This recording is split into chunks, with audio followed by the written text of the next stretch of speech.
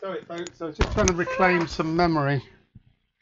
My Mac had about a billion tabs open. Just get these mics on. Apologise for the delay.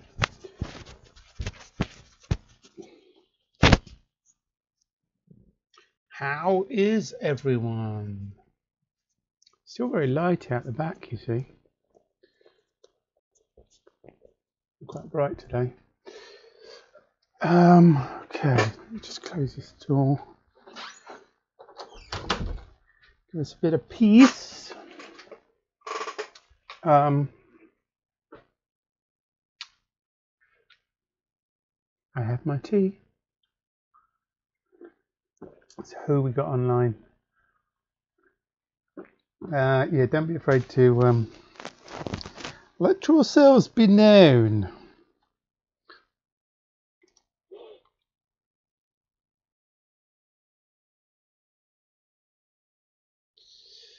Um,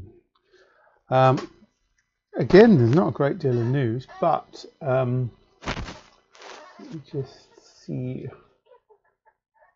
what we have. Oh, I better let everyone know I'm streaming as well. Hold on.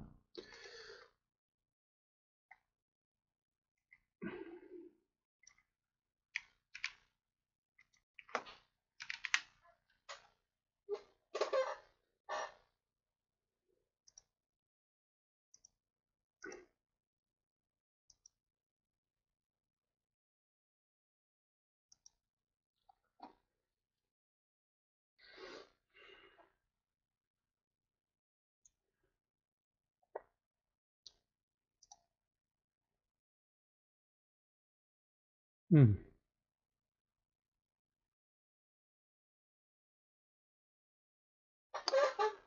Okay.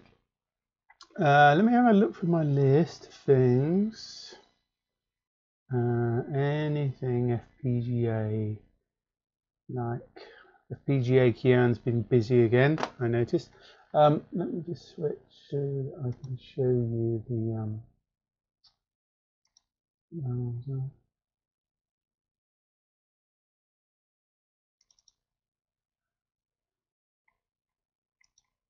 Uh,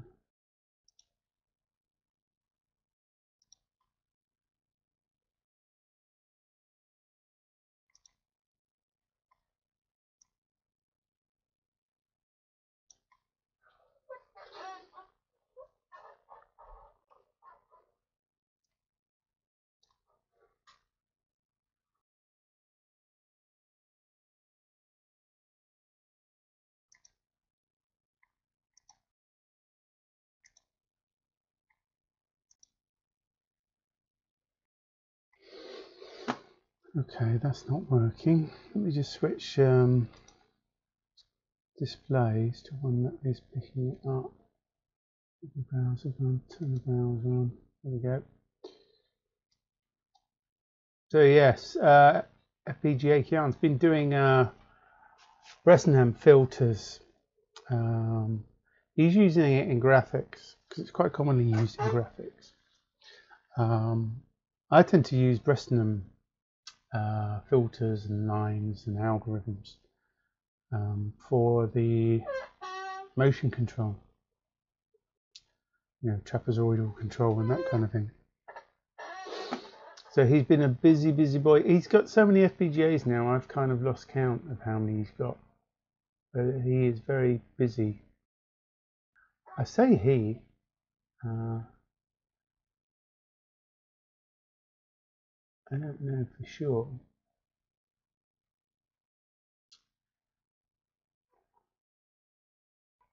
His preferred pronoun isn't specified on Twitter.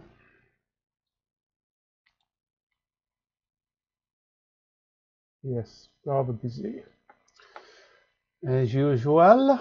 Uh, what else have we got? Enjoy Digital. Oh, yes. Yes. Uh, there's been a new Litex release which is kind of cool. Um, we've now got DDR4 support, or low power DDR4 support. How cool is that, as well as DDR4? Amazing.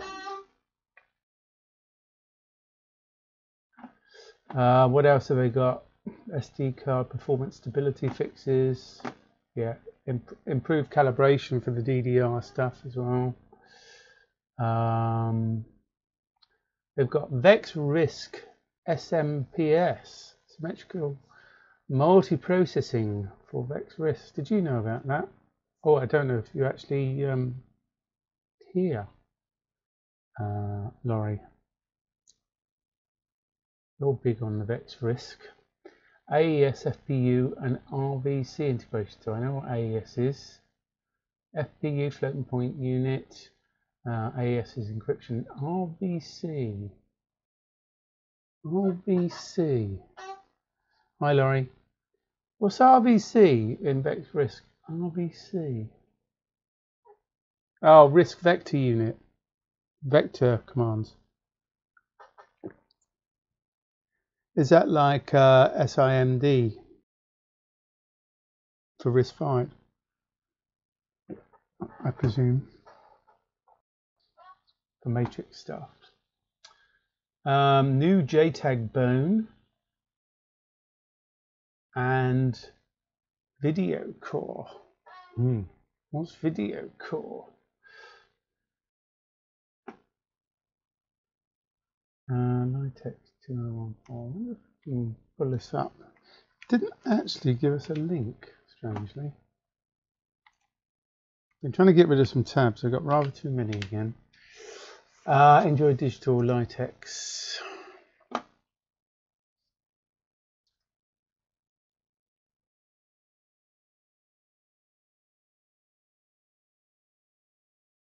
haven't looked at this stuff for a while actually. Uh, did they talk about latest? Um, should be a readme, shouldn't there? Change log or some such changes. Here we go. Flipping it. Right, so not much then. Fixes SOC USB ACM. Fix reset clock domain. Fix, fix, fix, fix, fix. Uh, added features. Oh, they've added in the Lattice uh, NX series. That's cool. Support there for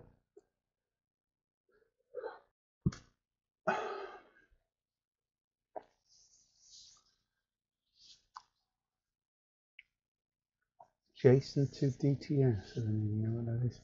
Simplify and improve and allow Vex RISC Walk 1K support. Quite a bit of BIOS stuff there.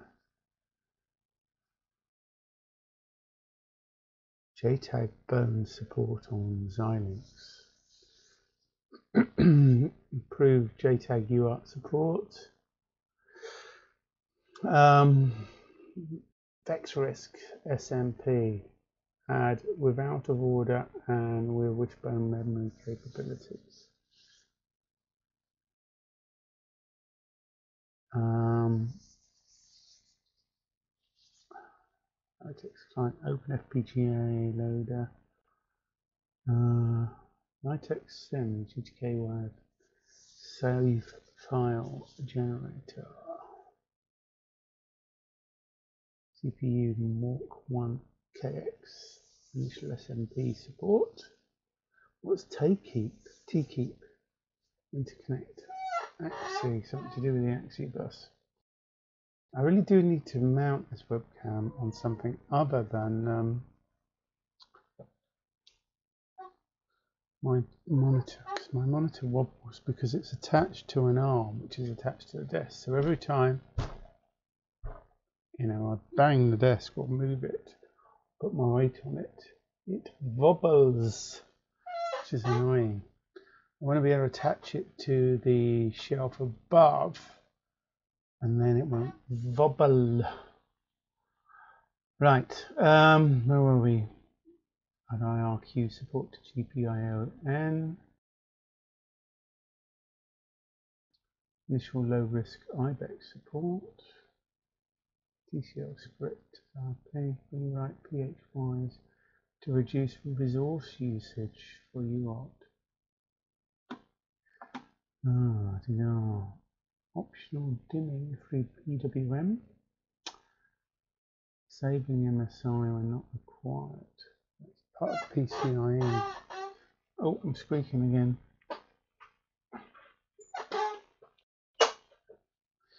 Not squeaking now. Hmm, export SVD, add constants to SVD export. Cool. BIOS allow dynamic Ethernet IP address. BIOS add boot command to boot from memory. Add simple video out call with terminal. Color bars. Frame buffer plus various PHYs, VGA, DVI, HDMI, etc. No idea what color bars is. They're meant to be color bars, maybe. Um, CSI event source process, advising edge support for edge selection. Uh, simplification of the SOC core builder. Uh, add automatic BIOS ROM resize to minimize block RAM usage and improve flexibility. AXI Lite, clock domain crossing, ultra scale support.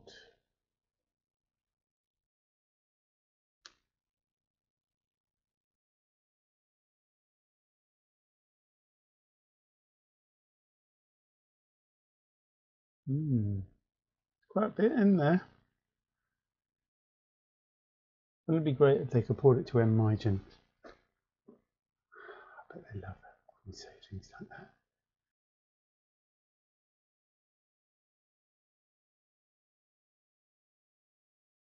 Oh, add initial Gowin G1 N PLL support. Interesting.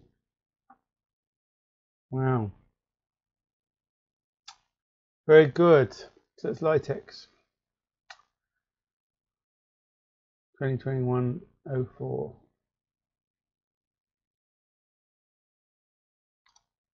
What else we got on our list? Anything else we need to look at?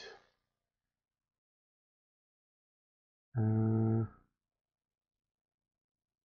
more FPGA Kian. More FPGA Kian. Good shot of Black Ice.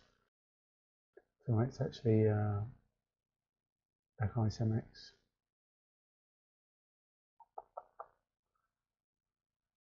Some very good shots of Black Ice MX. Right, that's it. That's all my news bits. Anyone else got any news they wish to share? I think the RVC is RISC-V compressed. Oh, what you mean like, are those the equivalent of like thumb instructions that ARM have? Have a quick look. RVC. Oh. Hmm.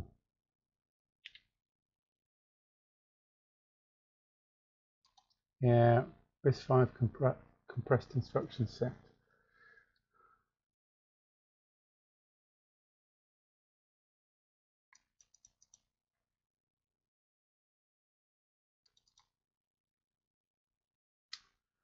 So it's going to draft and C, which reduces static and dynamic code size by adding short 16-bit instruction encodings for common integer operations. Yes, it's quite similar. Typically, over half of the RISC-V instructions in a program can be replaced by RVC instructions. Yeah, it's exactly that same sort of technique, isn't it, that ARM using. Cool, that's good.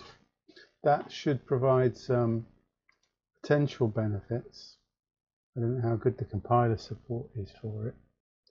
But once the compiler, oh, damn it. Yeah, but once the compiler support uh, is in there, then um,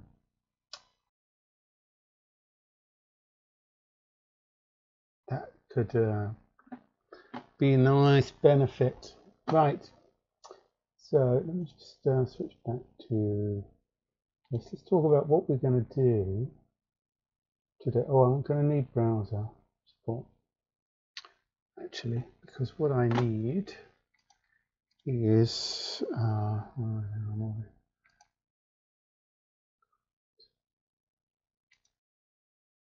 let's have a look. Let me give you an update. But before we do that, let me give you a review. So first, uh, I'll give you the less than good news first. In some ways, it's bad news. Well, it's bad news for some things, but in other ways, it's actually quite good. So, um, as you were probably aware, I've been working on amalgam, but been having issues with sourcing the right bits and bobs. In the current climate, that's proved a bit of a nightmare. I ha have had some breakthroughs, not all to do with amalgam though, unfortunately. I haven't had the breakthroughs I wanted on amalgam.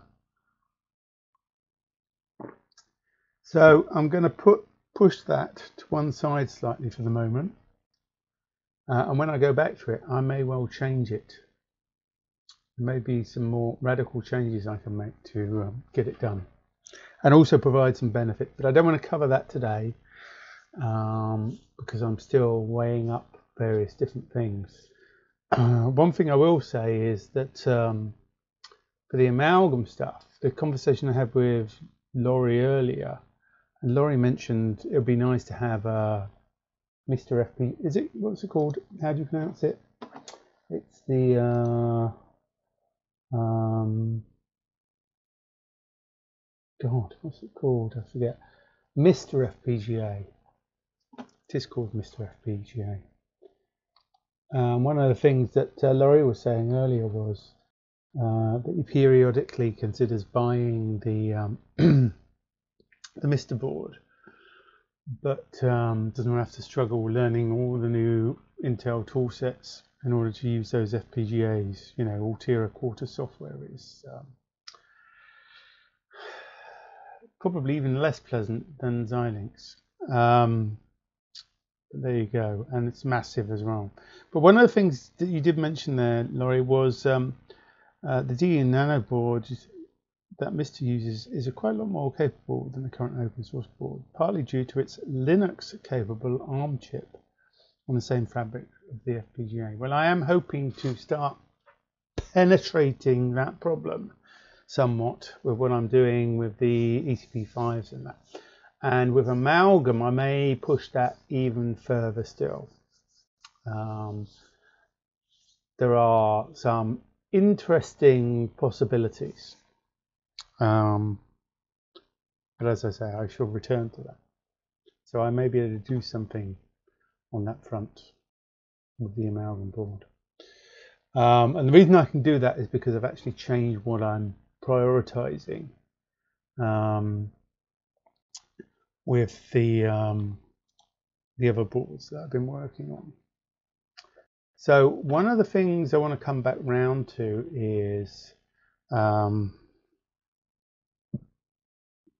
we are going to have uh, ECP5 boards and I've pretty much got most of the components I need to do them now but it just won't be amalgam like uh, they will actually be BlackEdge like um, if you remember one of the original ones I basically um, kind of revamped that so there's, there's a few changes compared to certainly what it was before um, but I've pretty much got all the stuff now.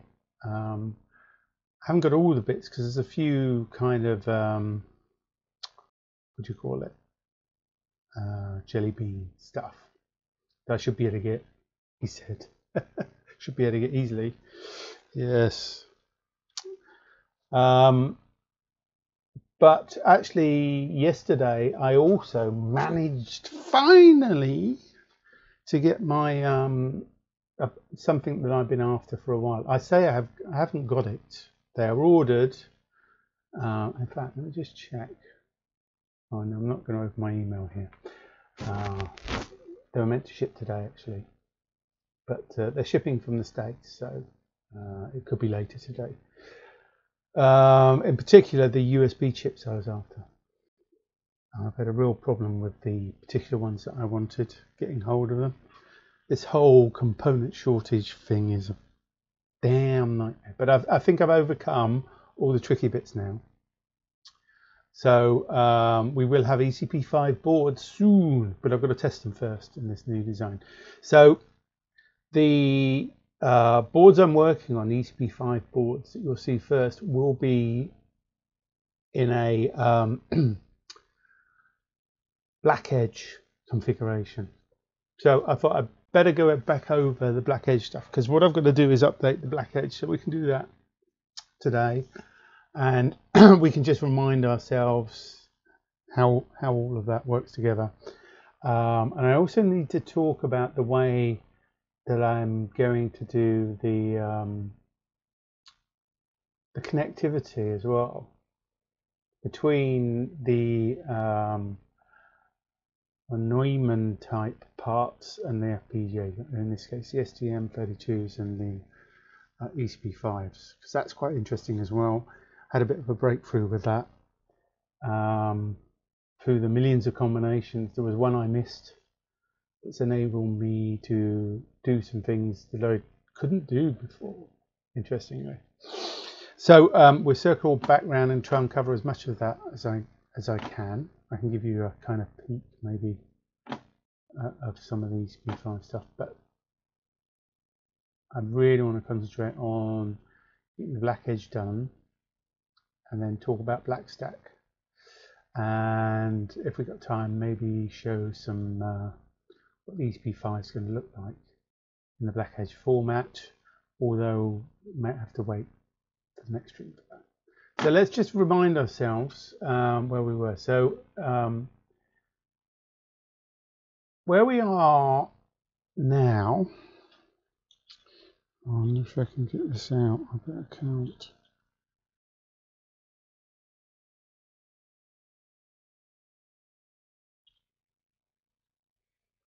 Um, screwdriver. Doing some screws.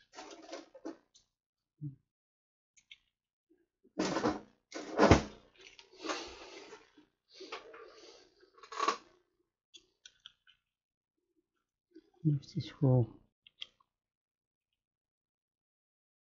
parts. So I've got three layers jammed together here just so that you can see.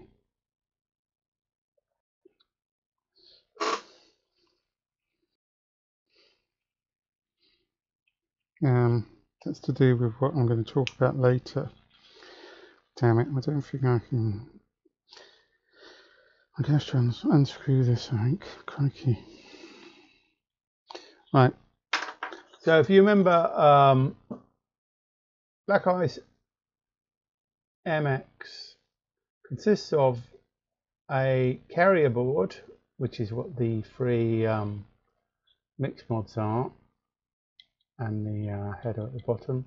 And then the other thing is this ice core board, which is the clever bit that sits on top of the carrier.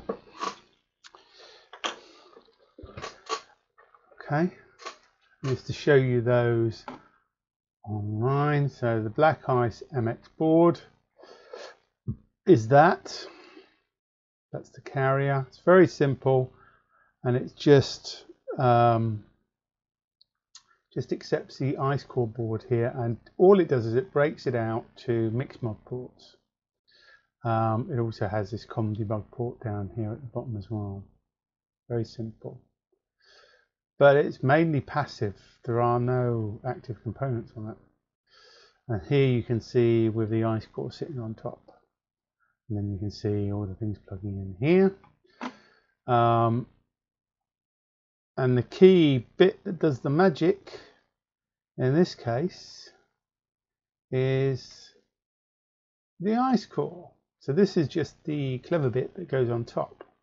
You can see the sockets here now these sockets and this pinout is called it, it is a standard that I published called or that MyStorm published called BlackEdge okay that's originally originally BlackEdge was going to be a product um, but we decided to call the interconnect BlackEdge um, after the product.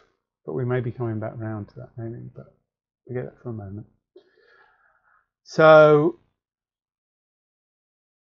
what this would enable us to do is, you know, use different carriers if we wanted to, or use different system on a modules conforming to BlackEdge. Okay. So in order to do that, what we have to do is we have to use the BlackEdge. So I've got the repo for this. So one of the things I'm going to need to do in this stream is change this and update this because I'm going to make a few changes that will be backwards compatible with Black Ice MX but allow us to maximize what we can get uh, from the new ECP5 bits. Okay, so I'm going to do some work on that. So if we look here, what Black Ice, uh, sorry, what BlackEdge has as an interconnect is 48 digital IOs on the left hand uh, side of this diagram, plus ground and plus 3, 3 volt 3. And then on the right hand side, we have some control signals that are handy. We have some SPI signals, UART. We have uh, I squared C. And we have, um, in this case, these pins are unused on Black Ice. We have TMS, TDO, TDI, TCK because I thought I'd need them, but we didn't need them. Um, we have a 5 volt, which is really the USB through a diode. We also have a bunch of analog signals. Um, this counts from 0 to 15, i.e. there's potentially 16 analog signals.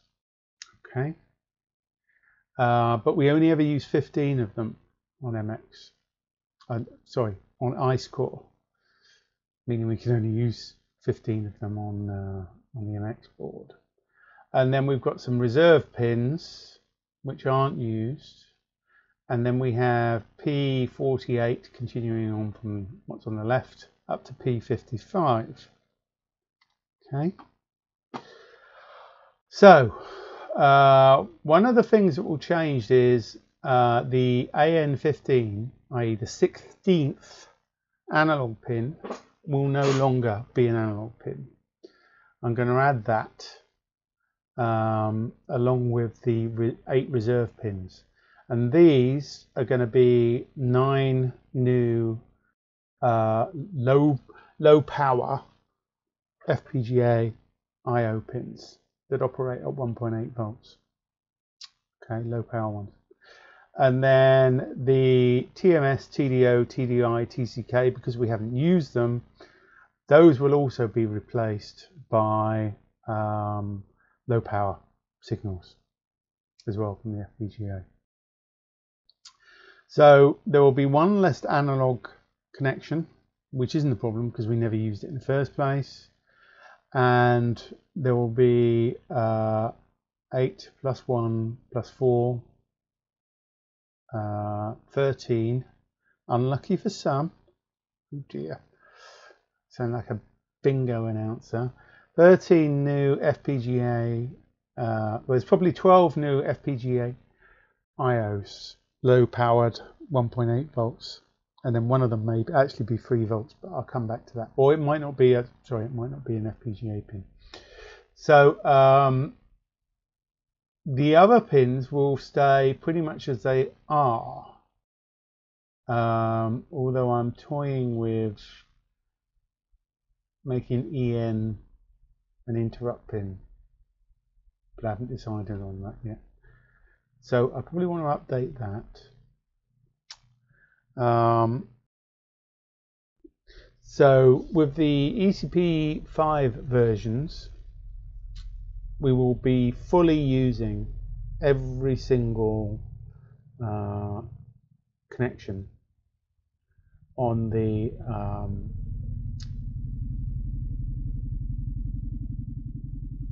on the on the BlackEdge standard.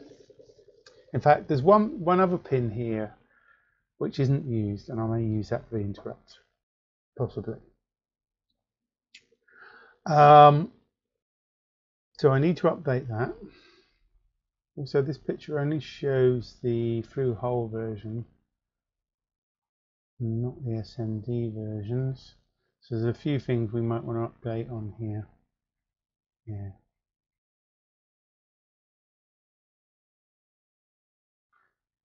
So we need to do some work on that. Um,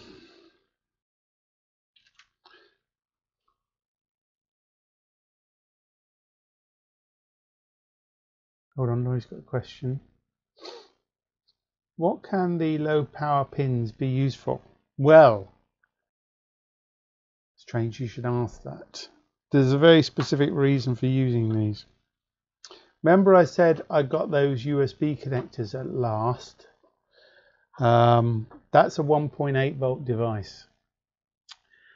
Um, and to drive those I need um, eight data pins, one clock. So I use all the reserve signals in AN15 for that. Then I will need the STP DIR reset and there's a fourth one and I've forgotten what it is. Clock. No done that. But they're all low power pins. Uh, that works at 1.8 volt and that's for driving high-speed USB so that enables me to have an option on the um, let me switch briefly to the CAD and I can show you BlackStack we'll come back to BlackEdge in a minute because we've got to do the work on that. Let me show you BlackStack um, where's it gone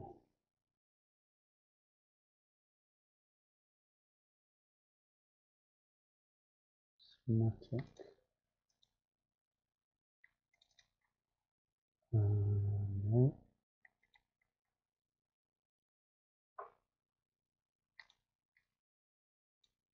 Isn't necessarily very neat at this point. Well, schematic isn't. PCB's fine.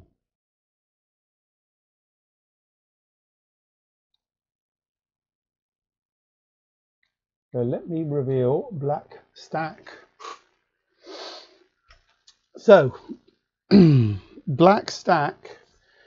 Um, I'm working on at the moment, and I want to do some of the routing on that today, possible. I want to get these made. So, BlackStack is basically a carrier that can accept up to six tiles like micro tiles. Remember we spoke about those last week for things like motor control, LCD displays, whatever. Yeah. Um, so there's four on the bottom, and then there's two extra on the top, giving a six. The BlackEdge connector here allows a BlackEdge compatible core board to be plugged in and then this little board, expansion board here connects to those low, low power signals. And a few more. It connects to things like the SPI as well and um, UART and a few 3 volt free signals from the um, FPGA. And one of the things I I mean, we could do several boards, but there's one keyboard I want to be in a keyboard. There is one key add-on here that I think will be great, which is what I've been waiting for, which is a the USB 2.0 high-speed add-on. So that will fit here, and that basically adds a uh, 480 megabit per second USB high-speed to the um, FPGA. Okay. Um, and the reason I want to do that is because It'd be really it's be really great to have a nice high speed mechanism in and out of the FPGA. Um, and USB is probably the best way of doing this. The only other possibility would be to do a gigabit Ethernet, but that's much more difficult to do. Um, with the work that's been done by Great Scott Gadgets and um, Kate, you know, on Luna, um, I think I've shown Luna before. I better just re-show you again so that you know what I'm talking about here. Bear with me. Let me turn the browser back on briefly. Let's pick up. Not everyone will have seen this.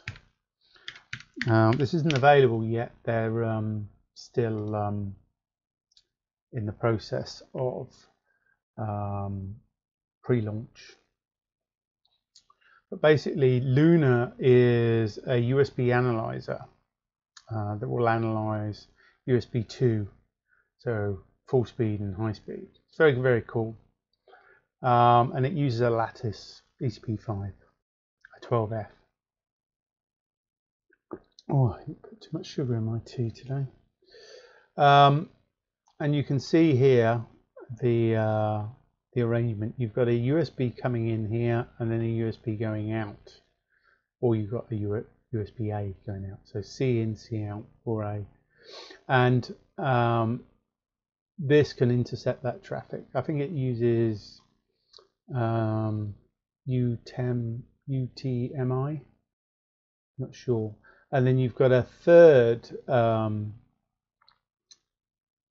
USB here, which sends information, the analysis stuff, upstream to your um, um, PC or laptop.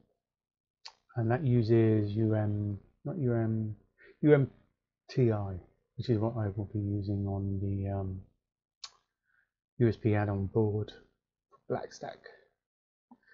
Um, the current implementation, they have a serial and I think an analyzer USB.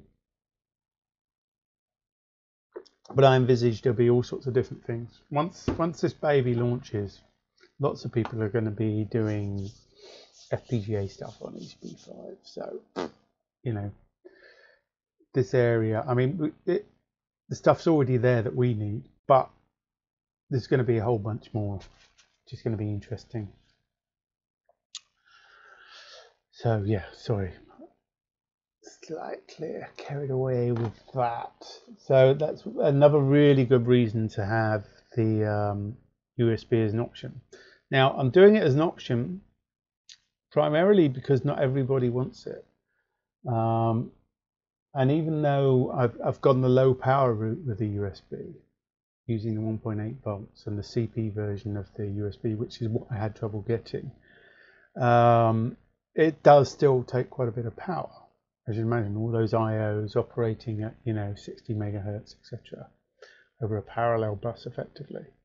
So not everyone's going to want that you know and, and, if you're using it in a situation where you're not moving lots of data up and down to say a PC it's not going to give you any benefit but it will add to cost so having it as an option gives me the you know best of both worlds to use that wonderful Miley Cyrus phrase uh, that my daughters used to constantly sing to me um, so that's really um, why I thought it was important to get that sorted. And it came through.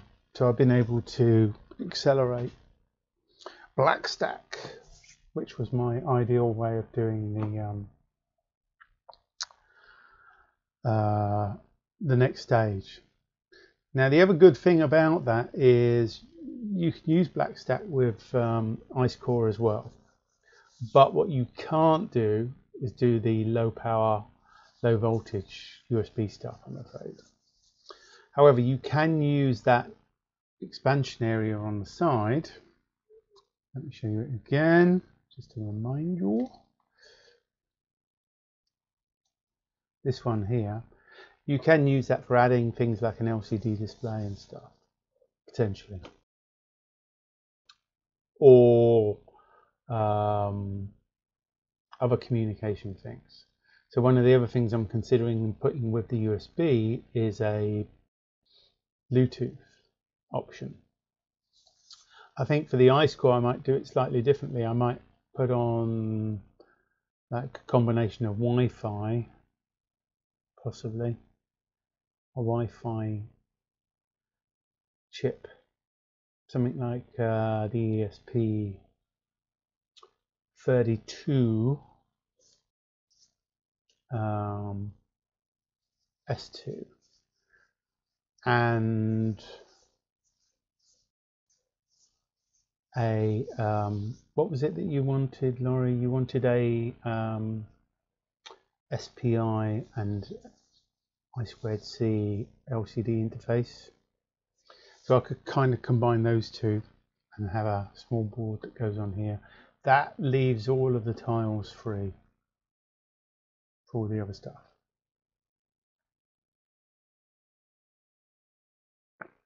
I really see this as a kind of communication board stroke visual my display driver. So you will be able to use this. Um, hold on. You will be able to use this as uh, with sorry, you'll be able to use this for ViStorm. So this is the connector area here I was talking about. The little communication add-on, which could be USB or combination of USB and wireless, uh, Bluetooth, or uh, LCD and ESP32. Uh, not only that, uh, I want to get these done quite quickly, which is why I want to work on this this evening, because I want to get these ordered, get some tiles made up, and we can start testing them uh, with the ice core. So we've got everything we need to drive tiles from the ice core So we can start doing that testing and thing, stuff, which will be useful. Um, also, it gives everyone that's, you know, uh, invested into um, Black Ice MX, it gives them another carrier if they're interested and access to tiles as well, which I think will be nice.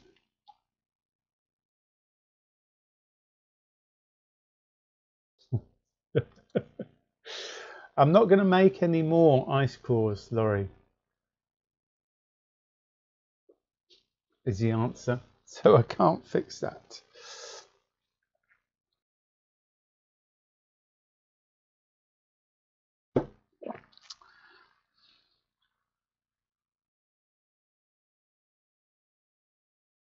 Mm -mm -mm so um, you'll be able to use this for Ice Core. But, I mean, we could, for instance, put HDMI. Could we put HDMI on that board?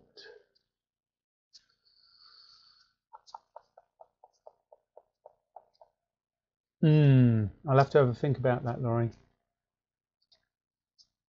I'm thinking about the uh, the um, this board here. Could we put HDMI on it? I don't think. I mean, we can. I'm just not sure how good the signal, signal integrity would be. Let me have a think about that. Let me have a think.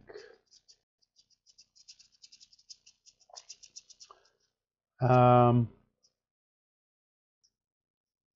yeah. Okay. So what do you think, Nori? The black, the BlackStack. I know it's it, we're kind of in mixing up a couple of ideas because the original ECP5 board looked a bit similar to this.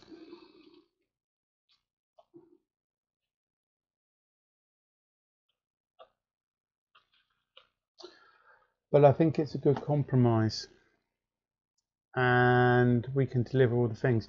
Oh yes, let's quickly, right, let me see if I can open this without incriminating myself with ongoing work. It's in a bit of a mess.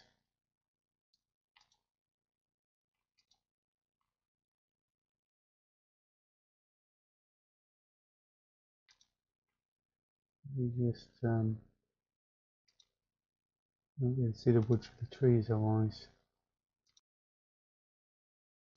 Ignore the stuff over here on the right hand side. Okay, ignore the naming. I'm, I'm still not sure what to call this. Uh, BlackEdge uh, is a possibility with a number um, because there will be a different version. Let me see if I can just get this such that you can't see all that stuff because it's distracting.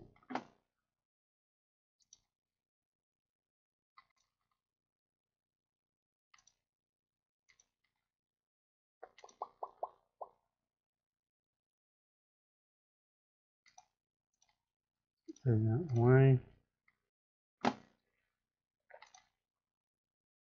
This shrapnel is all, all going to disappear.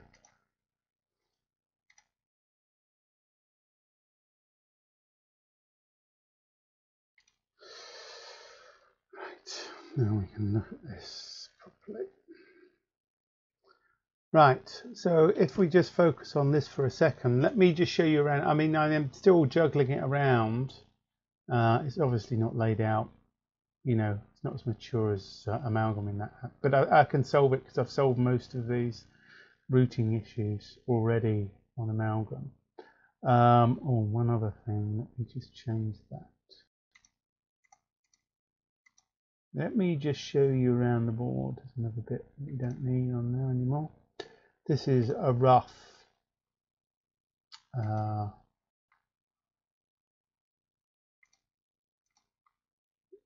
This is to be tweaked. Right, so let me just show you around what we have here.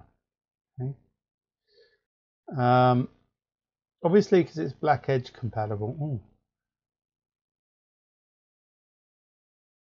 Um, before I move on, notice that there's an SD card underneath here. Yeah, which is very similar to um, the uh, current uh, ice core. And then just let me get rid of this layer because it just makes it confusing. You can look properly.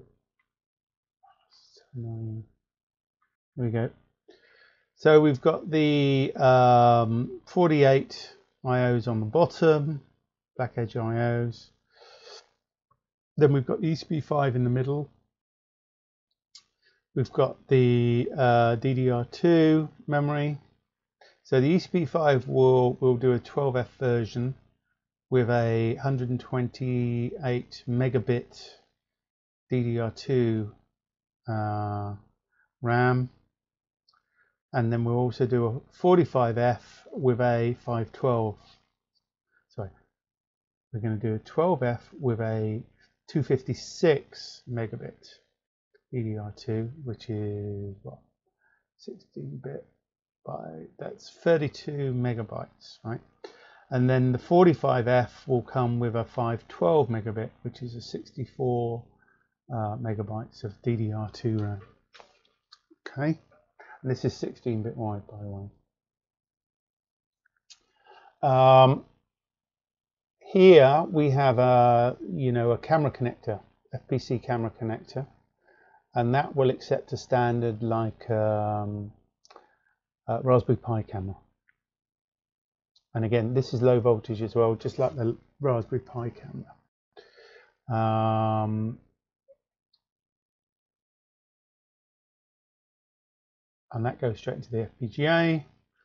We have a flash size to be determined, probably smaller one for the 12F and a larger one for the 45F and I'm not sure so I think it's going to be a 32 megabit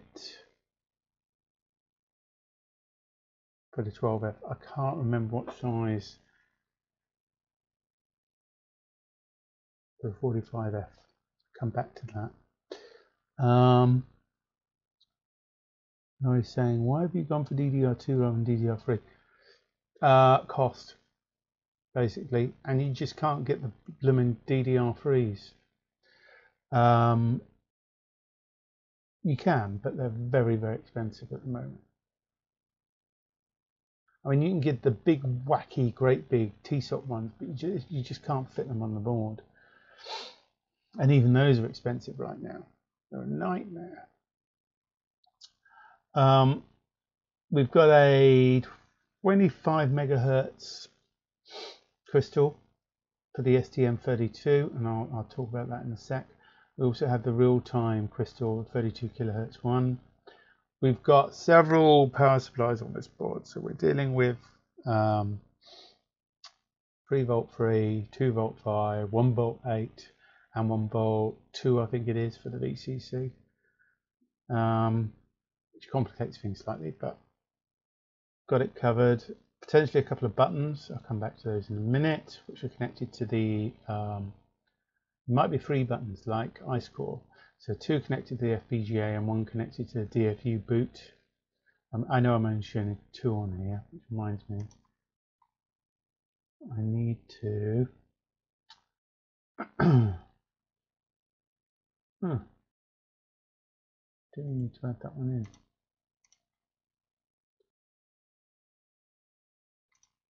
Okay. Um,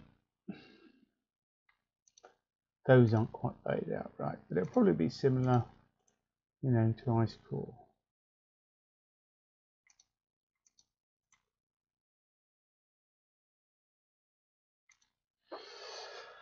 Um, the microcontroller. So with the the lower cost, call this the BlackEdge Model A, the lower cost one.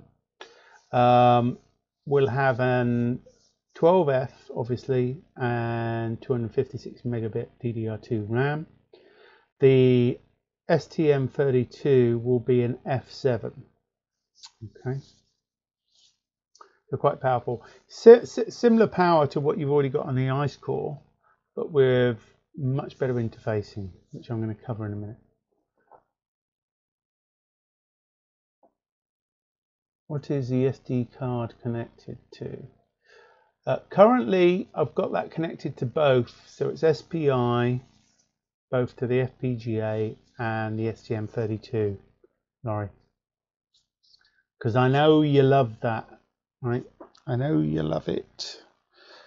To have them both on the same. Um, so the F7 is very fast. That runs at 216 megahertz. There's quite a bit of uh, RAM on it as well.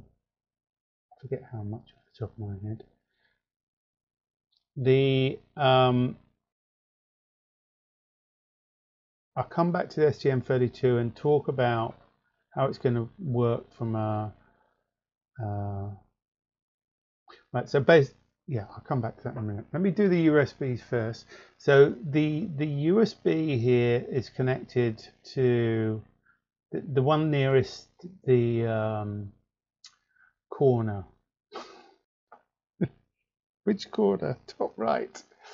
Oh, it's been a very long day. Let me have more tea. This one here is connected to the STM32 and we're doing some cleverness there. So we've got the um, USB serial connected to that. Uh, we've also got some clever stuff going on with the debug, but I'll, I'll cover that another time because that in itself is, you know, an entirely um, unique thing that we need to cover at some point.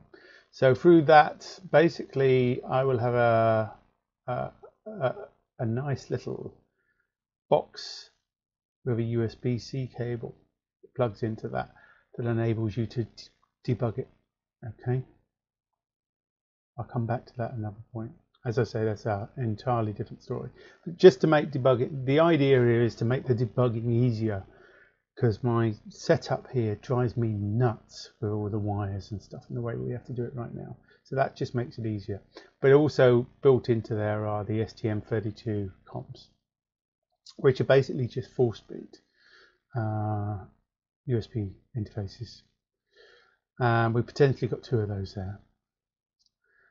Uh, this USB here in the center will probably be, I'm deciding yet. So we've got two USB Cs, okay, one of which will support um, video over USB. I'm not going to use any proprietary terms here but basically you know a low cost cable from Amazon will enable you to plug into a digital monitor that is effectively being driven by the uh, ECP5 and that is a passive cable by the way that doesn't it's not an active cable. Um, and then the other one is also connected to the FPGA but probably more likely to be used for things like games and stuff like that. And you'll be able to expand the the connection to more than one USB or other device. Again, I can return back to that at some point in the future. I mean, it may be that these two USBs are actually identical and can be interchangeable, but I'm not sure if I can do that yet. It, uh, I'm finalizing the pins on the ECP5 and there is a possibility that those could be the same and interchangeable. Um, and if that was the case, we could even have a weird situation where we could actually drive two displays, but uh, I don't know if there's any point in that, quite frankly. Um, that might be considerably overkill. I mean, we've, got quite a bit of memory, so we could do it, but, you know. Um, but anyhow, there's two uh, USB-C connections to the ECP5, both of which will support um, maybe similar or slightly different alternate modes. And I did mention these before. Maybe it was only on the discussion on the forums. I mean, we can dedicate a stream to looking at that sort of thing. Um, at the moment, it's very experimental anyhow. So until I build the first one of these, I don't know how well that's going to work. I'm hoping it will work well. There's no reason why it shouldn't, let's put it that way. So we've got lots of I.O. connectivity uh, through the USB-Cs there as well. And it's, it's, there's more than meets the eye. These aren't just simply USB. The alternate mode usage um, solves some of the issues that I've had in the past for things like debugging and also solves some of the issues for things like um, doing digital uh, video output maybe digital video input as well but I don't know. I don't want to push the boat out at this point um, and make promises until we're, we're, closer to being able to actually prove any of those things. Um, and then most importantly so the interconnect so on the low cost board the low, low cost, the lower cost uh, BlackEdge board, BlackEdge A, as I say, uh, that has a 12F 256 megabit memory and an F7. So the interconnect between the STM32F7 and the ECP5 12F is an FMC connection. And I've, I've mentioned that before with Amalgam as well. It's a similar thing going on with Amalgam. So you've effectively got a 24-bit uh, muxed address with 16-bit data on that FMC. So it's like a PSRAM, parallel PSRAM um, use of FMC. Uh, FMC being the memory expansion part of the STM32. So you've got a nice high speed interface. Now on the F7, I think you can run that at clock, H clock speed, which will be 108 megahertz. So you've got 16 bits, 108 megahertz. And because you've got a 24 bit address, I think that gives you full addressing into the DDR2 for that configuration. I'm not going to do the math now. I think I've already tried that before. Um, and there's an additional pin, there's an additional select um, when you're using the um, the uh, more powerful version, which I haven't spoken about yet. Uh, the other thing we've got there is SPI obviously to the flash, to the SD card, and to the ECP5 so it can be configured. That will run, oh I can't remember what the top speed is on the SPI, it's pretty fast. Um, the the analog, the mixed signal side of it supports up to 15 mixed signal pins from the STM32 to the top part of that BlackEdge. So that's you know identical effectively to what you've already got on the Ice Core. Uh, and by mixed signal, I means it can be digital as well as analog, but obviously those digital pins are lower bandwidth than the FPGA pins because they come from the STM32.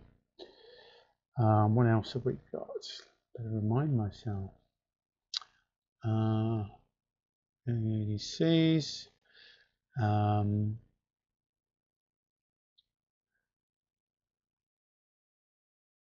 we've got some RGB LEDs as well, and I'm still finalizing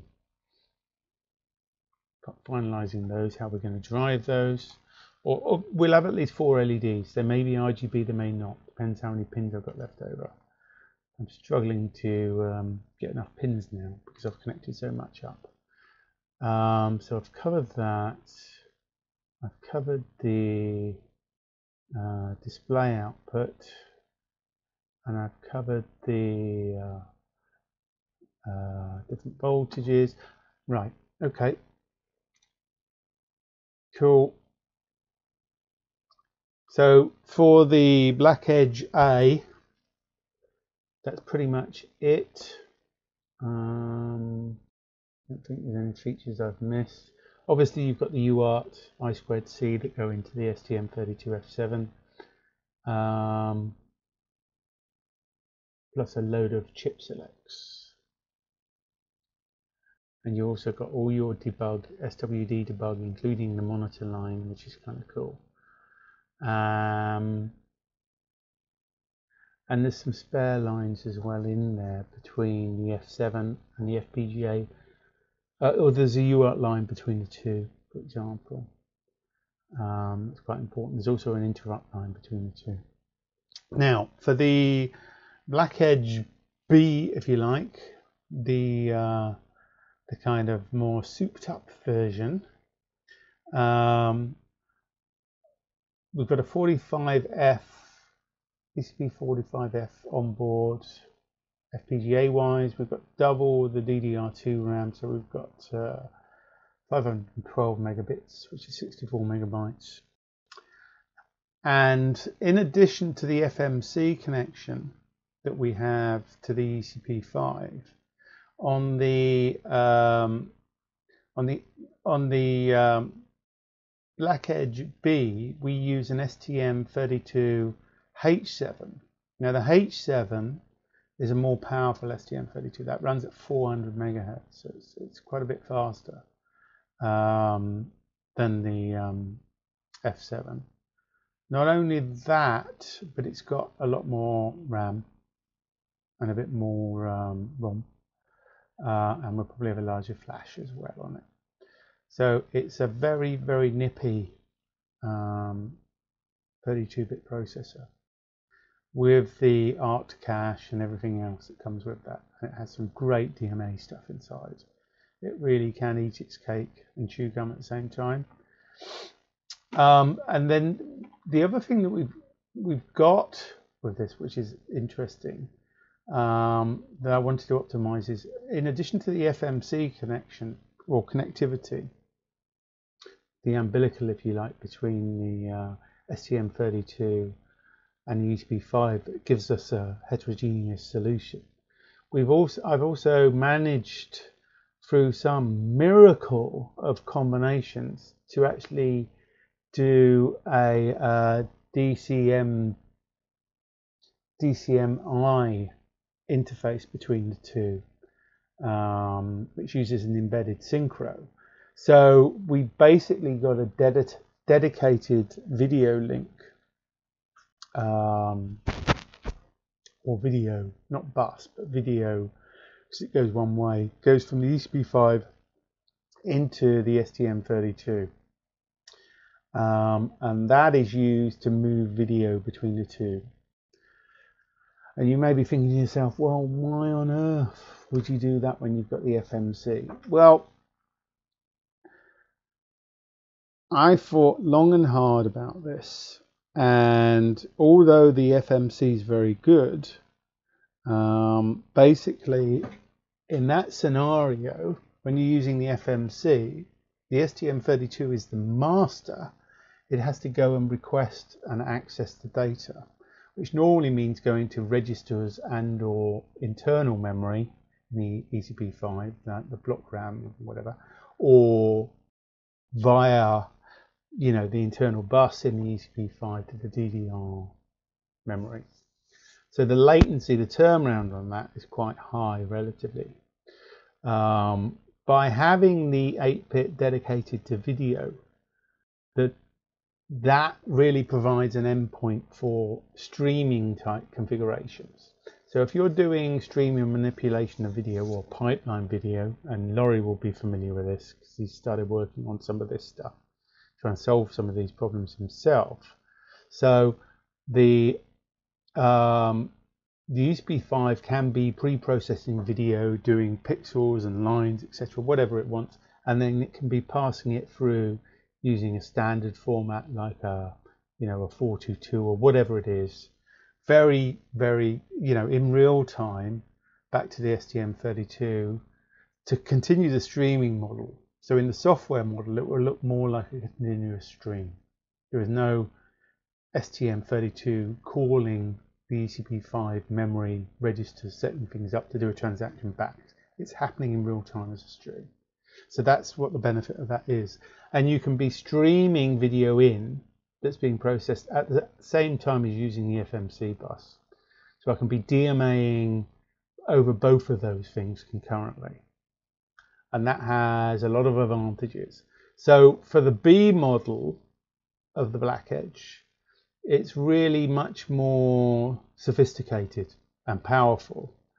Um, and it's much better if you're in a scenario where you need to do video processing or DSP or that kind of stuff. Uh, and anything where you've got kind of streaming uh, or pipelined uh, data processing going on between the um, FPGA and the uh, von Neumann parts, i.e. between the ECP5 in this case and the STM32 in a proper heterogeneous manner. Okay, Laurie saying, does it have any camera connectors? Did I miss that earlier? This one here, Laurie, that connects to a Raspberry Pi compatible camera and that's a low power connector as well so it uses low power um, same same thing that Raspberry Pi uses basically and there's lots of copies of those um, sort of cameras out there So you can have video coming in here from the camera into the ECP5 being processed, maybe using DDR memory.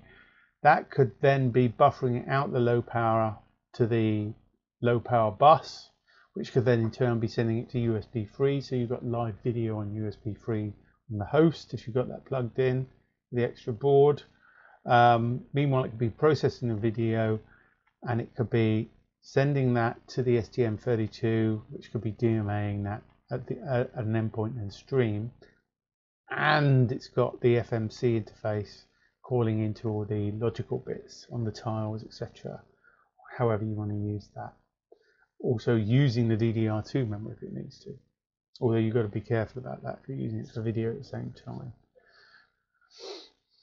So it's fairly sophisticated, very, very powerful, in my opinion, um, solution. And, you know, current consumption wise, it's going to be fairly modest, I think. I mean, it's not going to be a low powered device, right? We're using a 400 megahertz STM32 H7, right?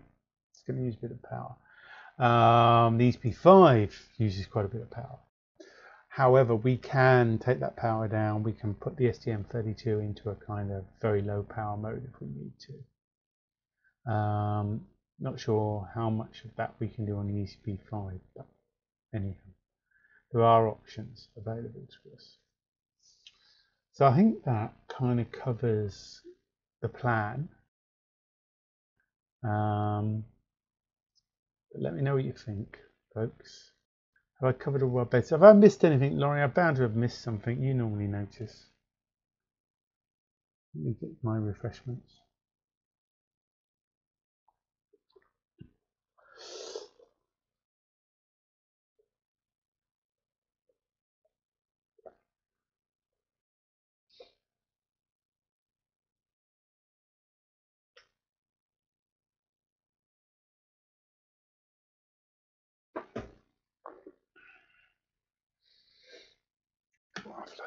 How are we doing for time?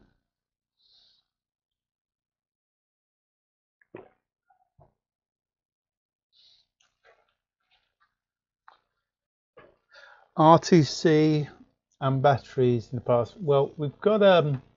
Well, that's the point. Where do I put the VBAT? So I think I can put the VBAT. Hmm. Yeah. I mean, those can go on the BlackStack. We'll switch over to that in a sec. Not sure. I mean, I could put it on the back. These boards are quite small, remember. Depends how big we want the battery backup. I was thinking of doing proper battery stuff for the tiles. So for example, the communications extension board that may have USB on it could actually have power management on it as well, potentially. But yeah, good point. Let me just add something in before I forget. You should put a note to that effect.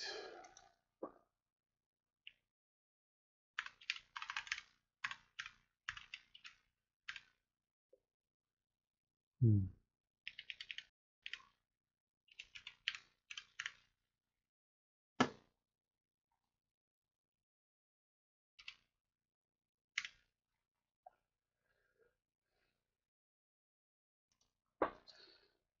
Added.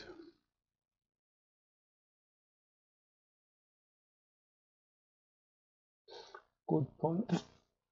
Good point. I'll put a note in the schematic to add that in if I can. Um, might be better on the BlackStack part rather than the BlackEdge part rather than on the core board if you like. Still not completely stuck on names as well by the way. Um,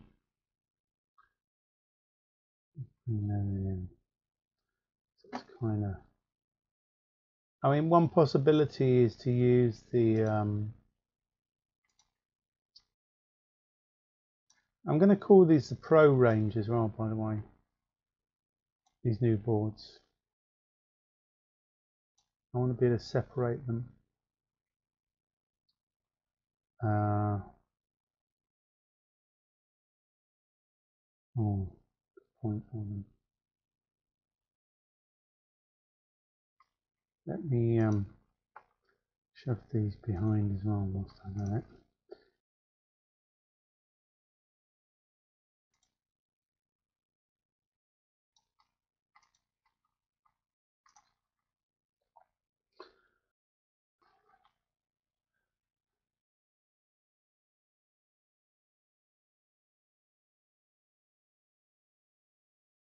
Switches are a bit wonky. The buttons.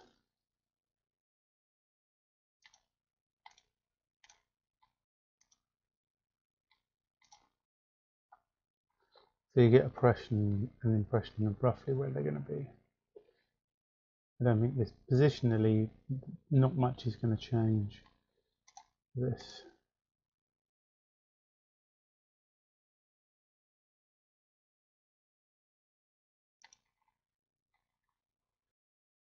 Um, also Almost done that it.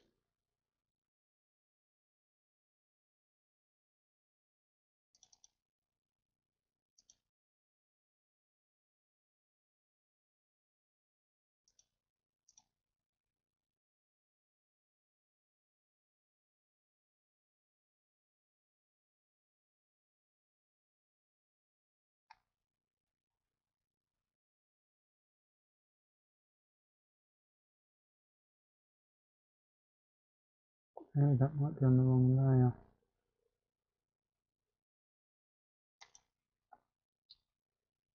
Whatever.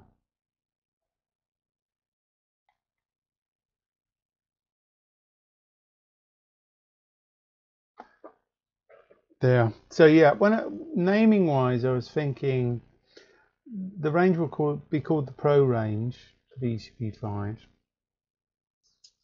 BlackEdge is a possible name, you know, with a number after it, because I'd have to differentiate between um, the 12F F7 version and the 45F slash H7. Uh, I'm not sure. I mean, you could have BlackEdge H7, BlackEdge F7, possibly. Um, or we could use the core terminal. Laurie saying, are the USB to HDMI? he said the word. Cables. The same as the MacBook. Yeah, sort of. I'm not sure if it's Thunderbolt 3 or not. But yeah, it's basically the... Uh, it's a USB alternate mode. They're kind of passive cables to connect to a digital display device.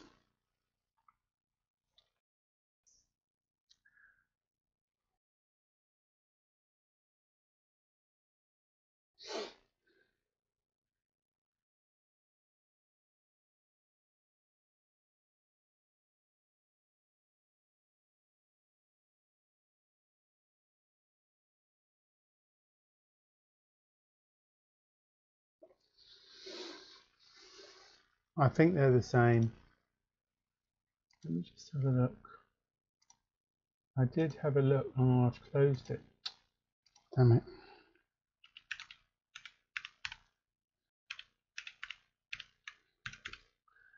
You know, the um, tabs are like, or your browser in some cases is just like your attic. Put loads of stuff up there for ages and then you get bored and you think, I haven't used that in ages. Then you get rid of it. And the moment you've gotten rid of the tab, what happens? You need it.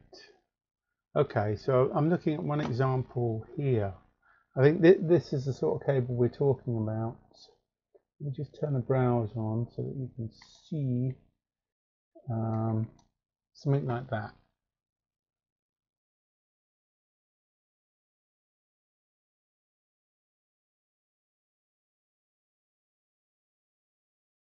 Fairly low cost things.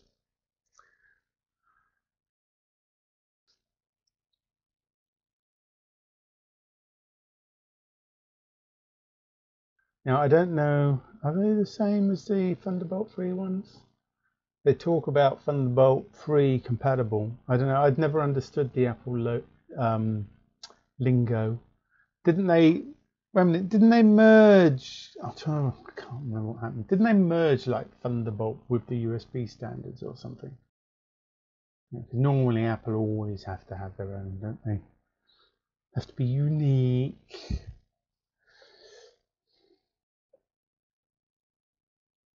But yeah, there's, bugger all in them. They're, passive cables, but there is some stuff in there.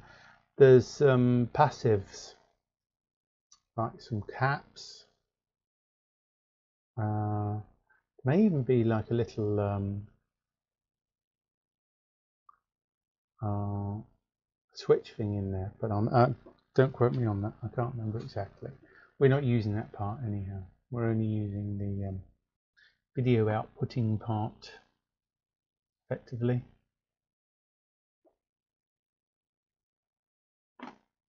Does that answer your question?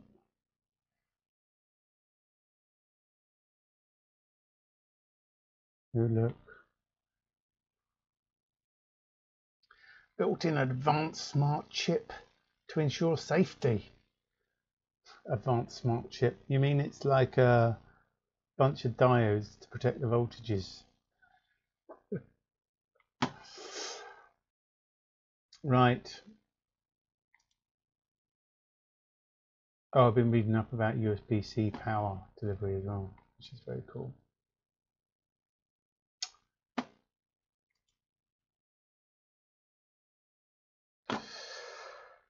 So, have I covered all the necessary bits? Do, does everyone here understand where we're going with this? Does anyone have any comments they'd like to make?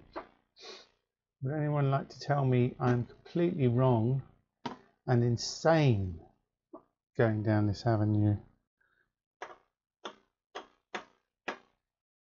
You've had your chance. That's it. That's what you're going to get. Sip of water. And then I'm going to move on.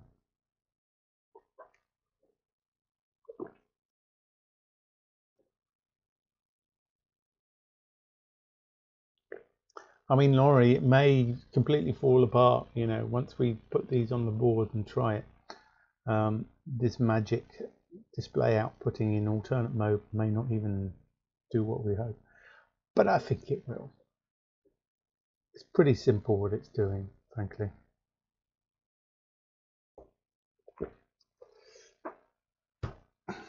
Um, so Laurie's now saying, not sure why you switched from amalgam connector. Well, we're still going to do the amalgam connect. Rewind. We're still going to do the amalgam board, which will have a different connector, probably. But I have problems supplying the component for that. See, what I want to be able to do on the amalgam board is either use ECP5 85F or alternatively, which is another possibility, is use one of the CrossLink-NX chips. Both of those have much larger internal memory structures. Uh, but if I go to the ECP5, 85F, I have to go for the 381 pin device.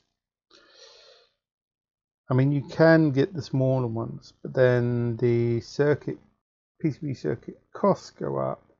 Not only that, you don't get the option, if you wanted to, to do the PCIe 2 or SerDes, high-speed SerDes ports on them. And I'd like to retain the ability to do that, you see.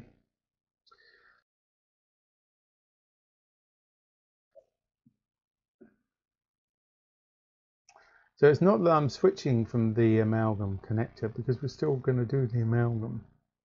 It's just that is going to be, it is a, you know, different course to the BlackEdge stuff. I mean, BlackEdge gets us an awful long way um, at relatively at good value, whereas the amalgam thing is going to be much more expensive, I'm afraid, because of you know the FPGA is much more expensive. I mean, seriously, much more expensive. Particularly at the moment. It's kind of crazy.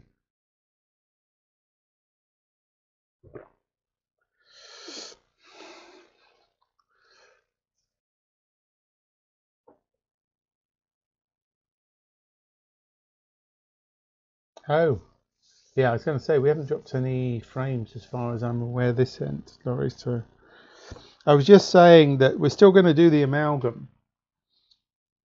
That's not changed.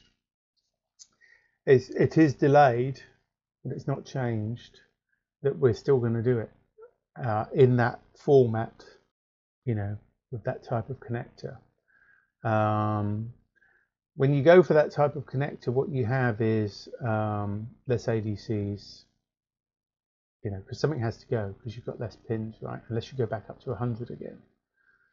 You know, because the current amalgam was 80 pins, whereas BlackEdge is 100, which enables you to put the extra ADCs in. Um, so that's one item. The other item is the FPGA because I want to be able to go to the 85F. So we have to use the larger 381 ball. I've looked at using the smaller devices with a higher pitch to 0.5 pitch, but that puts the PCB costs up considerably. Not only that, you're losing the opportunity to do the four PCIe um, slash PCIe 2 slash SerDes slash the possibility of doing USB free. And I'd really, really, really, really, really, really, really, really, really like to do USB free if possible. Um, so that would mean either going with the ECP uh, 585F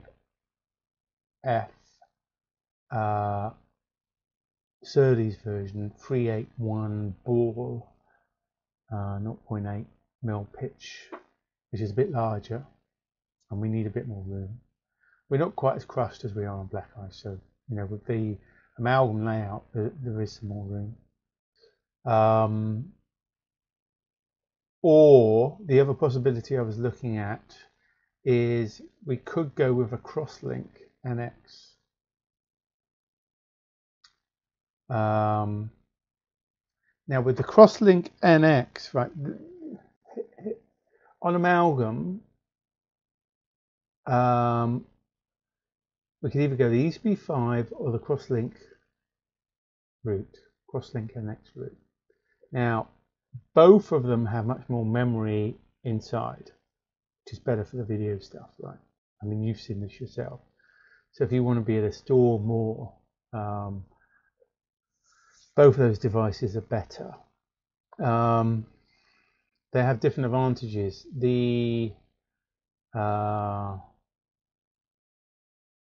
if I was going to go for the uh, CrossLink-NX, I'd probably go for the 256 ball version.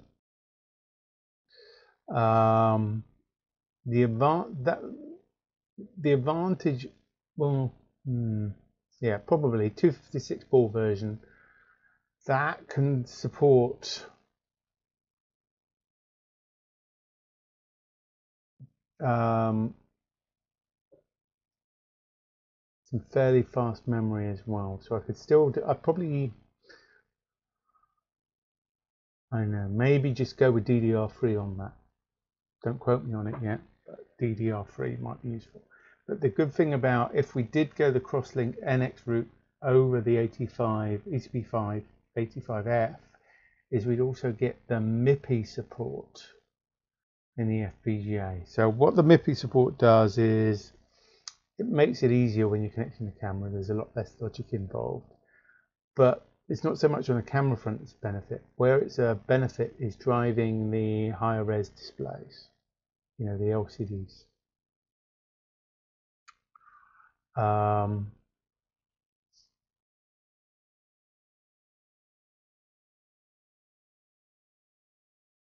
yeah.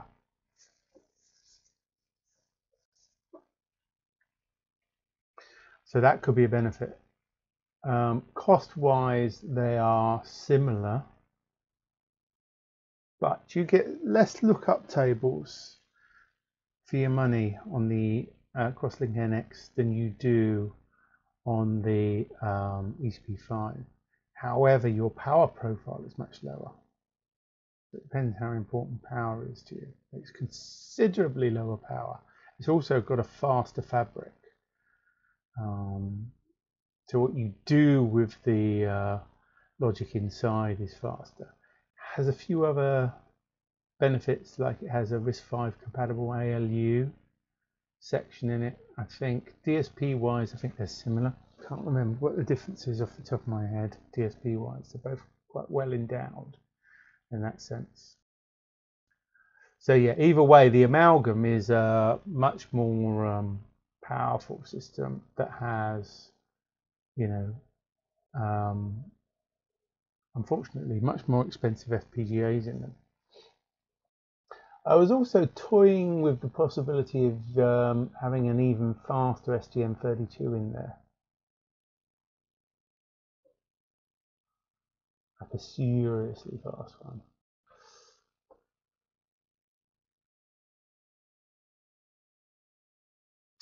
Um, but that's a conversation really for another day. So we are still going to do it, is what I'm saying. Um, it's just I'm a bit constrained at the moment with that.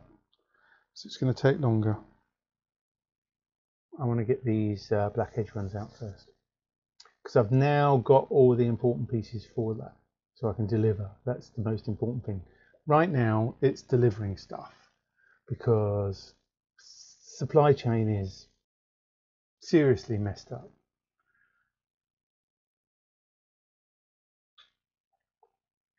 Or more importantly, deliver at a reasonable cost. Yeah, you can deliver at any cost, it's not a problem. But people won't pay that kind of money. You have to deliver at a reasonable cost. Now I think I'm being able to do that with the um, BlackEdge stuff. And or any other name that we come up with for it. So let's switch back to the BlackStack just to remind you. Does that answer your question, Laurie? Sorry, that was elongated and I probably said it twice because of um, you had some issues here in the first one. So back to the stack.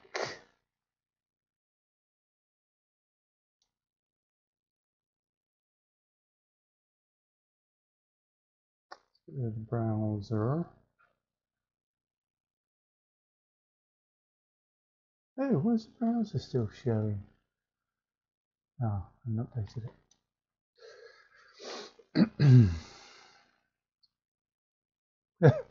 OD having network issues, Laurie. I hate it when that happens.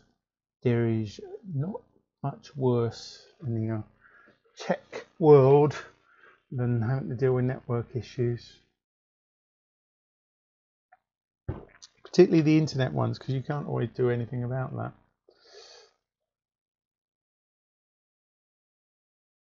Um, so yes, BlackStack. Uh, so let's have a quick look at this here.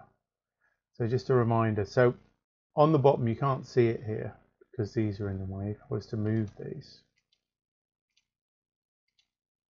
I'll put them back in a sec. Not moved the wrong one now. Typical. So anyhow, under there, look. oh, again. So yes, I've got four tiles underneath. What's the tile? Oh, I better remind you what a tile is. Some of the other people join us may not have seen it. Uh, no, I don't that one.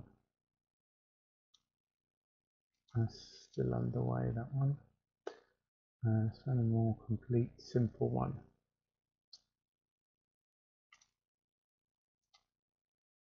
Hmm?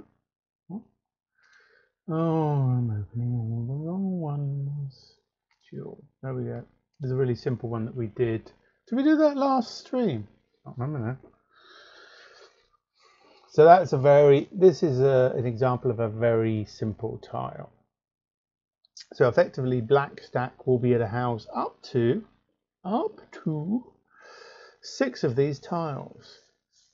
Uh, which one is that? That's, that's a stepper tile. That's dual stepper tile, isn't it? Using the Trinamic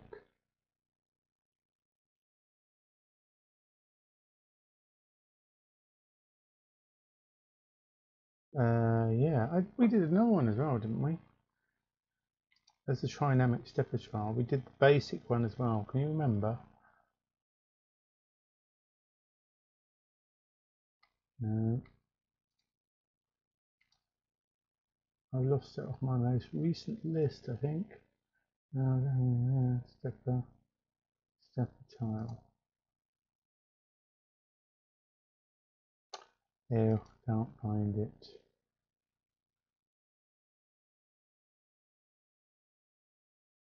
Just go back to that one for a moment. So yeah, they can be as simple as that. Um, so what goes on a tile? Well, these examples I've been looking at here are like motor tiles because the tile connectors themselves carry um, higher voltage and current through multiple pins um, in addition to the low voltage signaling etc they can also be isolated if you need and they've got these grounding mechanical mounts as well so they're very solid. Um, I'm not going to revisit why we went down that direction because we've already covered that in previous um, previous stream episodes. But the point is to provide a good mechanically sound uh, expansion system um, for things like automation, certainly robotics, anything like that as well, but also all the standard stuff that you might want to do through expansion. Let's just go back now. Uh, and just to remind you also what's on that connector. So we have eight signal pins from the ECP5 going to it. We have an SPI set including the chip select. We have two mixed signal pins which can be analog or digital. Plus we have 3 volt free and ground um, as well as the high voltage supplies and the extra grounding and shielding. So it's a fairly flexible interface. You can kind of think of it as like a, a PMOD with extra grunt and mechanical soundness. Um, that's not just not flaky, basically. You go back. So the idea between behind the stack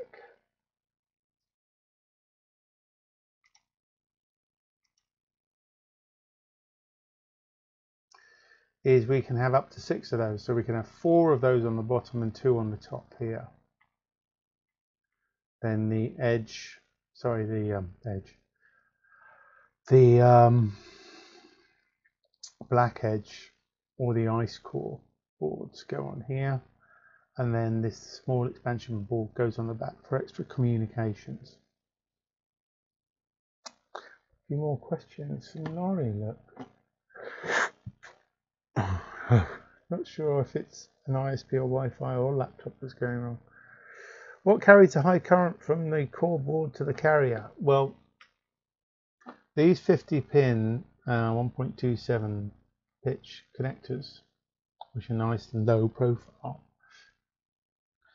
they're that kind of profile. So this is a three layer stack, which is why I put this together, so that you can see what a three layer stack looks like, because that's what BlackStack is going to be like like a three layer stack. Although the order will be different from what I'm showing here. Um, so yeah if you look at let's go back to the all access board. So on here can you see these blue dotted lines they're carrying the higher current. So the top part of that is de de dedicated to say V plus and the bottom part is dedicated to V minus. Um, and then you've got your other signals in between. Basically. Although they may all be four layer boards. You can do two layer boards. Four layer boards is a bit better. So they're nice and chunky uh, you can deliver quite a lot of amps through that. Does that answer your question, right?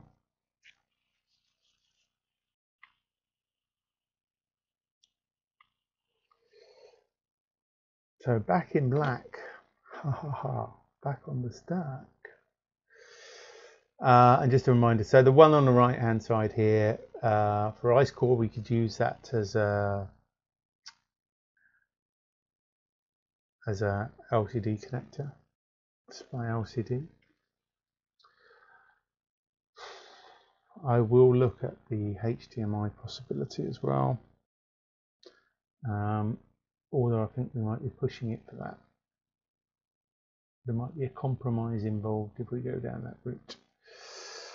Um, but on the BlackEdge, when you've got a BlackEdge board in there, you've got lots of IOs in here. So you've got 13 low power IOs plus a few extra, uh, plus the SPI and UART.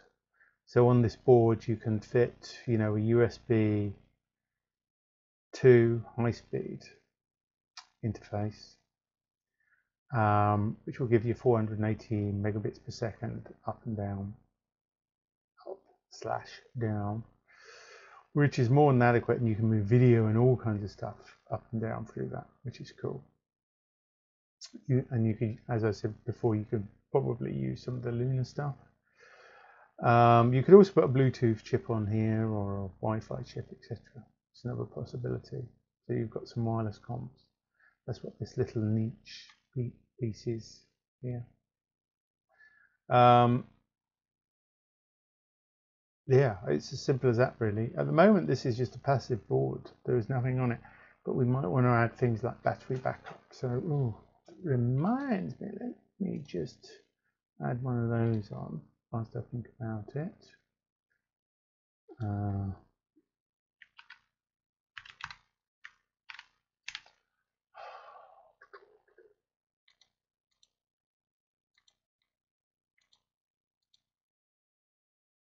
Um, should we go with? Let's put one of those on for the moment.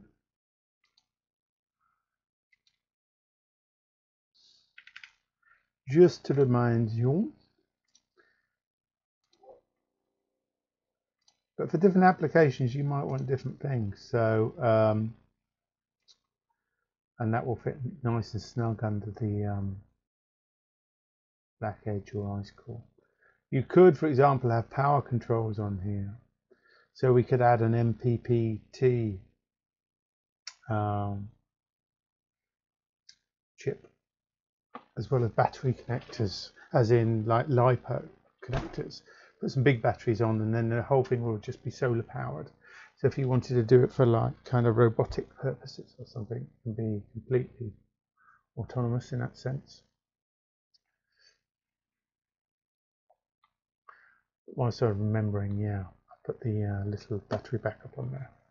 Uh, but if the power comes into the core board, and that is connected to,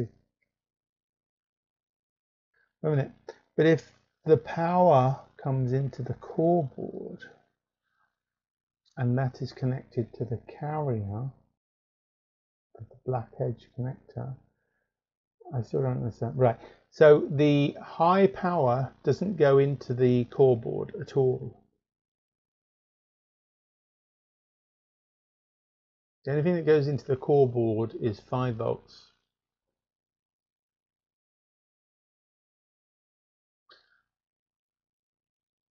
Although I think you can do 1.5 amps. I mean, we could have it take more if we wanted to, but we probably won't need any more than that. The high voltage stuff is done on the BlackStack side. It's either done by this small daughter bar on the right here, or um, we can connect it into any of the tiles. Any of those tiles can su supply the uh, higher voltage. Are you with me on that, um, Laurie? I might not explain that properly.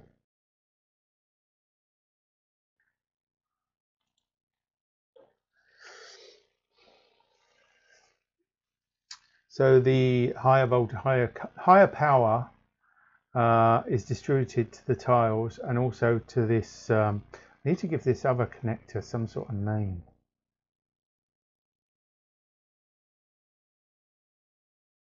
Um, it doesn't necessarily have to use the USB-C. No. Each of the core boards can be powered by the uh, USB-C. And it can pass that voltage down. But this, this supply I'm talking about for the tiles is a higher voltage supply. Now, I could, for example, make one of the tiles or this kind of connector here, I could put USB-C connectors on there and have the power delivered in that way if I so wished. Um, depending on the wattage requirement. Well, yeah, I mean, it depends what you're doing, Laurie. Um, Laurie, by the way, sorry, Laurie said, but is USB-C high voltage enough? Well, it is for some apps, but for a lot of apps, it's not. For a small robot, yeah. But normally, in, in, in many cases, you're talking about, you know, if you were doing a robot, for example, it's going to be battery powered. So the way that gets power may be charged over USB-C. It may be more than one USB-C connector. The maximum that you can push through a USB-C connector is about 100 watts. Uh, so that's 5 amps, 20, 20 volt. But even that's pushing it. Most tend to, they don't tend to go above 50 normally, but some go to 75 watts. But you could have multiple C type connectors if you wanted. Um, I'm also going to have connectors on here, the screw connectors. Maybe I should add those in just for clarity. Well, I'm not going to put them in for the moment, but yeah it's easy to add them into the stack board, for example. So let me just put some uh, on here. To remind me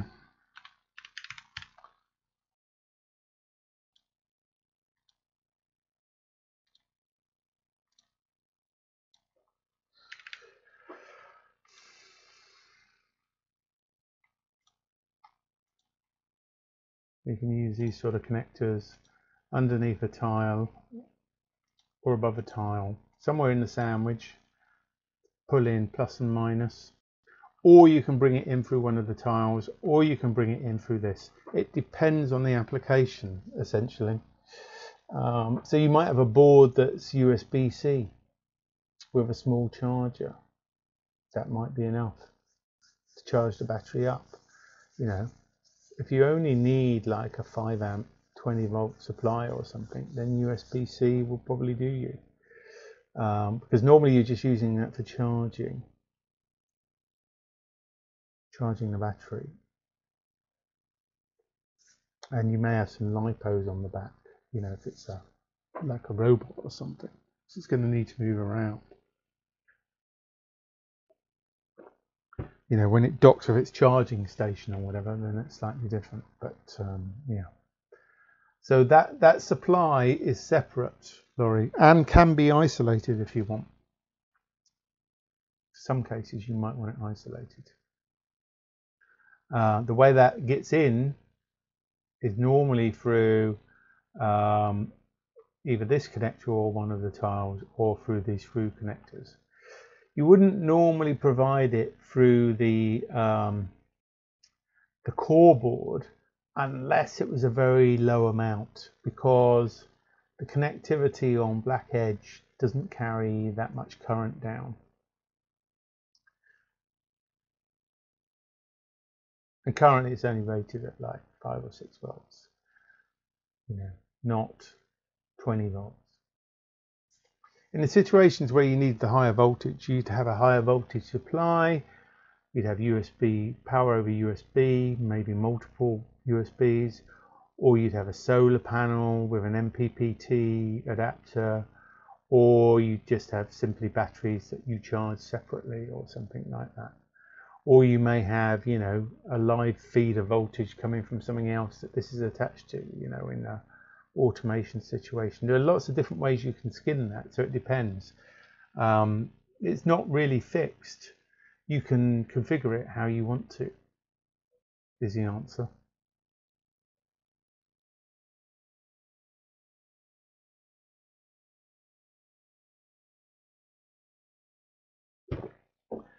Does that um, explain it? Right? Have, I, have I done a half decent job or am I just confusing matters?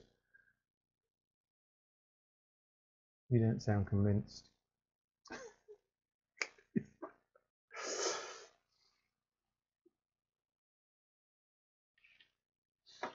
How are we doing for time? I don't think we're going to get much routing done, so I'm going to have to um, call it an evening in a minute. I want to get some routing done, but it doesn't matter. I can do that tomorrow. Cool. Any other questions, Laurie? I, am not going to do any routing now because we're already at 10 o'clock, so I'm, I'm going to stop in a minute anyhow. Do you think the whole thing makes sense? Am I missing anything? I'll ask again just in case anyone else has got it. Or um, are we okay to go ahead? I mean, have a think about it anyhow. You can always let me know later. Oh, the phone's going off now.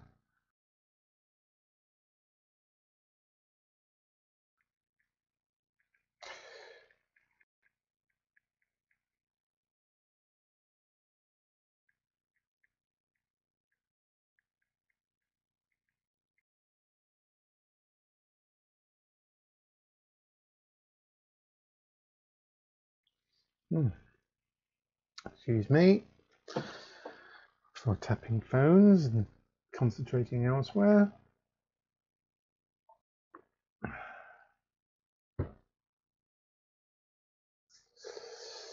Right, good. So I should proceed then, Laurie. Hmm? That's got a bit small.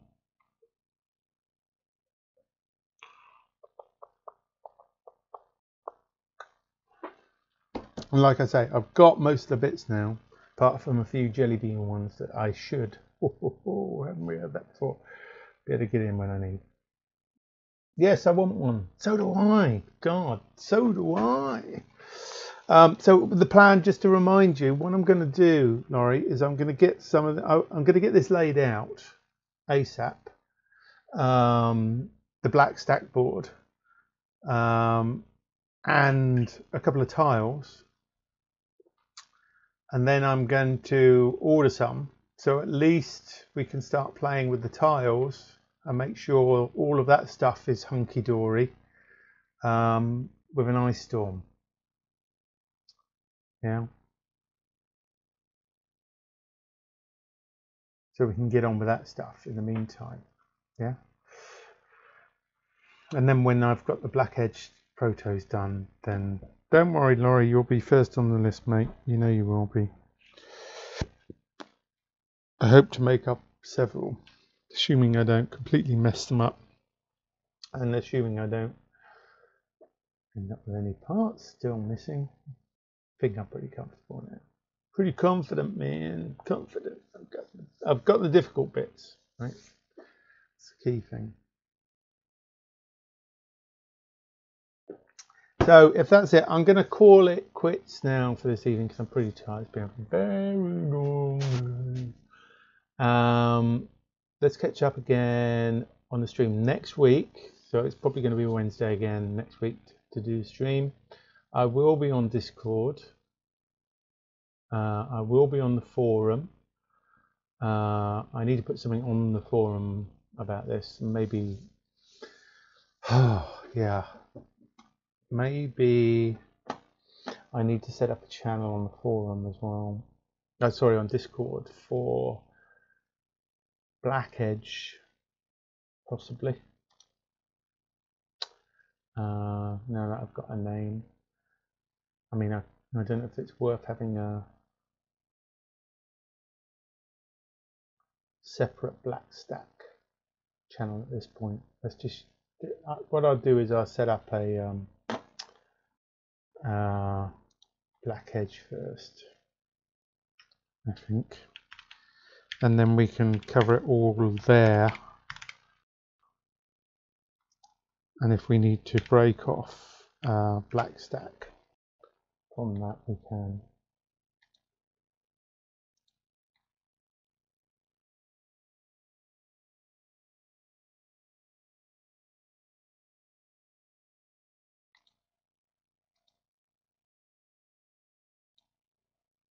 I've just added that into Discord now. If we need to uh, cover any of that stuff. Cool. Right. Okay. Um, see you all down at the forum or on Discord or next week on the stream. Ciao.